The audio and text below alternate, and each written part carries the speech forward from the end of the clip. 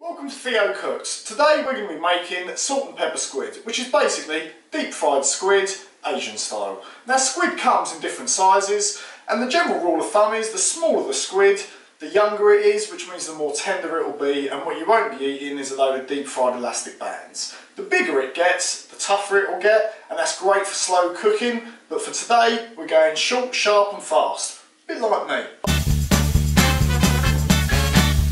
First, let's get the squid going. I've got in here some squid, you've got some tentacles, and we've got the general, the, the sort of the tubes of squid, which is the body. And all we're going to do with this is just cut this up into the standard rings that you see. And the coating of this is what's going to make this squid crispy. And to do that, we're going to use one part flour, one part corn flour. The ratio works, it will come out crispy and delicious. A tablespoon of plain flour, maybe two, two heaps of corn flour. So that goes in there. So we want to add a bit of flavour to this flour as well, so that the pieces of squid, when you bite into them, they've got, they've got a bit of heat going for it as well, which is what salt and pepper squid is all about. So to do that, I'm going to add a mix of different chilies, basically, into this. And you can afford to be very liberal with this, because 90% of what you're going to put into this flour, you're not going to eat anyway, it's going to fall to the sides. So we've put a heaped tablespoon of the chilli flake. We're going to put about the same, about a tablespoon of ground chilli. And you can already see now that this flour has taken on a, it's taken on a red haze. So to, to make the flour stick to the squid, I'm literally going to drop the squid into some egg wash.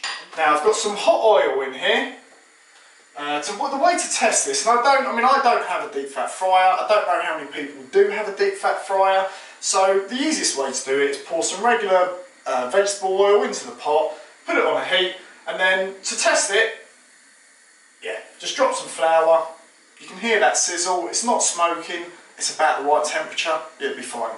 So we give our squid a bit of a stir in the egg wash, and then I'm going to drop this straight into the flour mixture Make sure that all the squid is covered because without the flour you're not going to get crispy squid and that's what you want. You want that sort of deep fried, that crispiness which is going to go great with the Asian dressing that we're going to do in a few minutes. Now squid is possibly the fastest known food to man. By the time I've put all this squid in, I'll be taking it straight out. It will literally be that quick. Let's start dropping them in. Now you can hear it sizzle straight away. So this has probably been in now for maybe a minute, if that. So now's the time to take it out.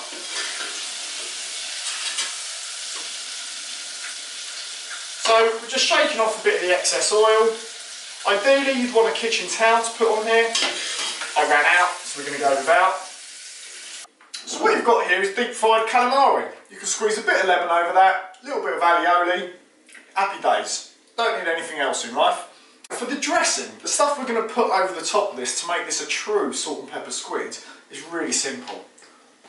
You're talking spring onions, red chilli, garlic, lime, we're going to add some more chilli flakes and I've got some lovely Szechuan peppercorns as well that we're all going to put in the mix together. So I've got another pot here, to put a little bit of oil in it I'm using the Honestly Good olive oil. To make the dressing, I've got a plate. I'm going to put on my chopped red chilli, my spring onions, my garlic, a pinch of chilli flakes,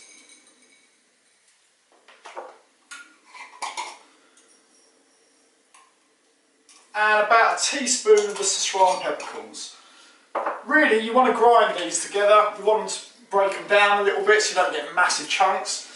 I find the Szechuan gives it a whole different flavour, it's almost sort of a numbing agent in a way, um, which will be really distinct when you eat it. So I'm just breaking these up, let me show you what this looks like before we pour the oil on it. So the oil's really hot and we're just going to pour that straight onto here. You can hear it sizzle. Give that a stir. Oh, ah, you can smell it straight away. All the flavours there you can smell.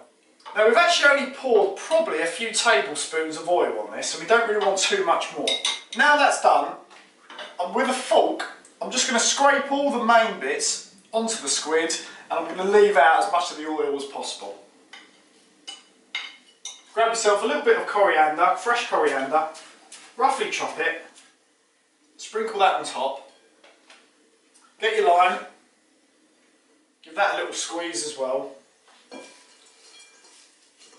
And you have here perfect salt and pepper squid Asian style. So that's me, Theo, doing salt and pepper squid Asian style. Hope you enjoyed it, share it.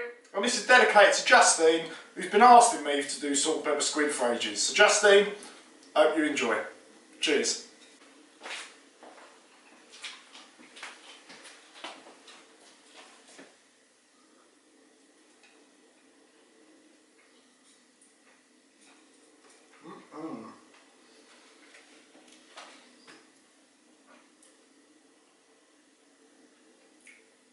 Are we still filming?